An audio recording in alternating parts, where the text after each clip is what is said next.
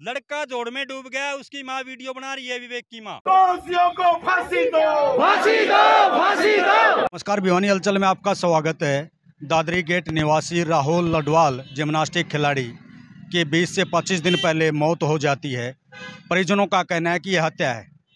हालाँकि पुलिस ने भी 302 का मामला दर्ज किया है लेकिन पुलिस अभी तक निष्कर्ष पर नहीं पहुँच पाई है जिसके विरोध स्वरूप आज ये Dadri gate Rohtak gate Maham gate होते हुए परिजन और अन्य सामाजिक संगठनों के लोग लघु सचिवालय परिसर पहुँचे हुए हैं। यहाँ पर ज्ञापन दिया गया है कि इस हिसाब से मिलने के लिए सात मेंबर गए हुए हैं। इनका कहना है कि ये हत्या हुई है बार बार हत्या का ये आरोप लगा रहे हैं, लेकिन पुलिस इसको हत्या के रूप में कार्रवाई नहीं कर रही है। इनका जो कहना है, पुलिस का क्या कहना है, वो भी सुनवाते हैं।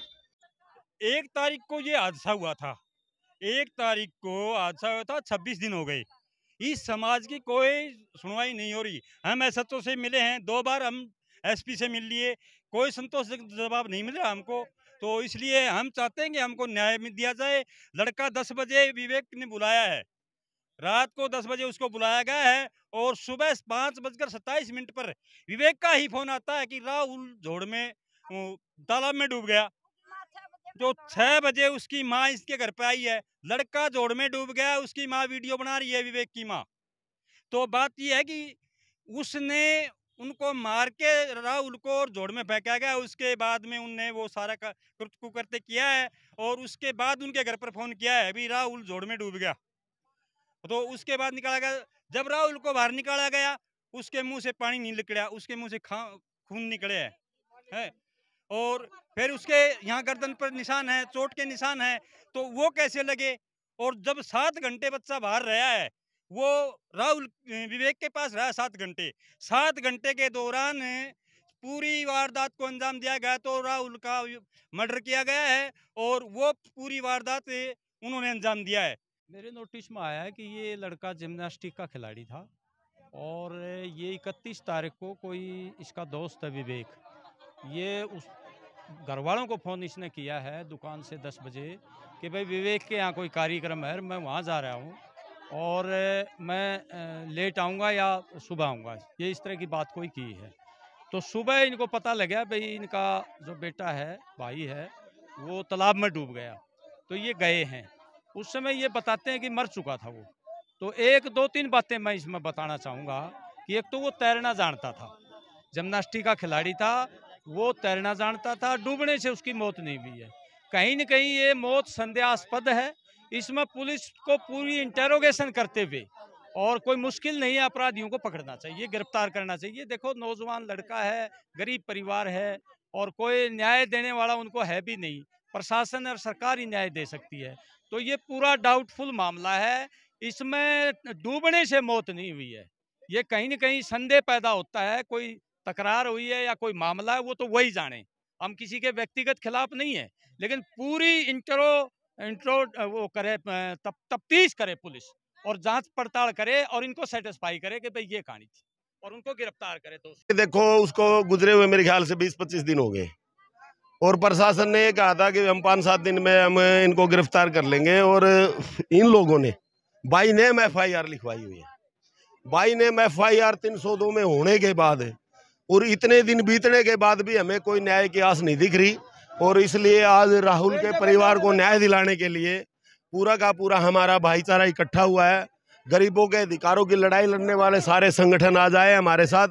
और हम प्रशासन से यही मांग करते हैं कि जल्द से जल्द आप इसको वेरीफाई करके जो दोषी उनको गिरफ़्तार करें।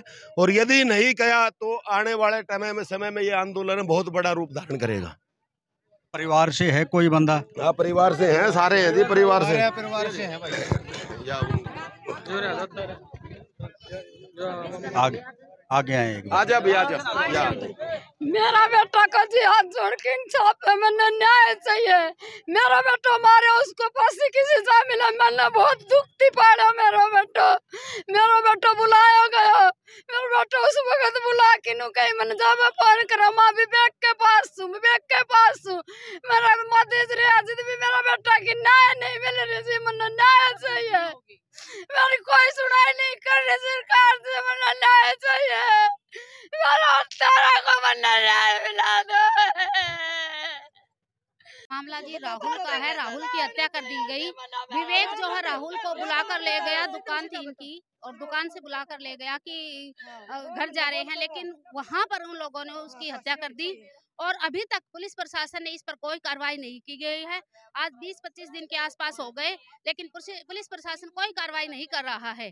और यदि हमने पुलिस प्रशासन को टाइम दिया है और यदि पुलिस प्रशासन कार्रवाई नहीं कर, करता है तो ये आंदोलन और तेज होगा। लड़के ने तालाब में चले माँ वीडियो बना रही है। लड़के की माँ वीडियो बना रही है और उसने तालाब से रहे हैं। वो कोई क्या कारण है वीडियो बनाने का? कोई रंजिश नहीं जी। बिल्कुल एक थाली में रोटी खानी है। एक थाली में रोटी खानी है। आपस में साथी थे ये? हाँ जी दो हाँ साथ खिलाड़ी नहीं था जी। ये कौन स्कूल का वो था इनका। स्कूल का वो था इनका मेटर को आपस में दोस्ती थी। उसकी वजह से दोनों को घर तक आना जाना जी खूब। सरुती सरुती सत्ती था जी वो सरुती आई जाई करे तो वो भी आवत हो वो भी जावत हो और बुलाए हो फ़ोन करके मैंने फ़ोन करे जा बनू कहीं मम्मी मैं विवेक के पास हूँ विवेक के पास हूँ मेरा और मेरा पहले पहले की कोई घटना रंजिश कुछ कोई रंजस नहीं थी जी मेरी खूब ऐसी कोई बात नहीं अब कुछ दिनों से दो साल पहले राहुल का पिताजी एक्सपायर हो गया था इसी तरह और अभी ये घटना होगी उसी तरह वो तो वो घटना बना दी वो तो मर गया छात से गिरने से बहना बन गया। लेकिन अब ये अब ये रात को रा, उस विवेक के पास गया है तो विवेक को ही पता होगा सारी बातों का। जो सबूत विवेक ने जो बताया एक लड़का पानी में से भागता दिखाई दे रहा है पुलिस के पास सारे सबूत हैं फिर भी नहीं कर रही कार्रवाई। अगर इसके अलावा अगर हमारे हमारे से कोई ऐसा कदम उठ जाता ना तो अब तक हमारे छोटे बच्चे बीरबानी भी जेल के अंदर होते।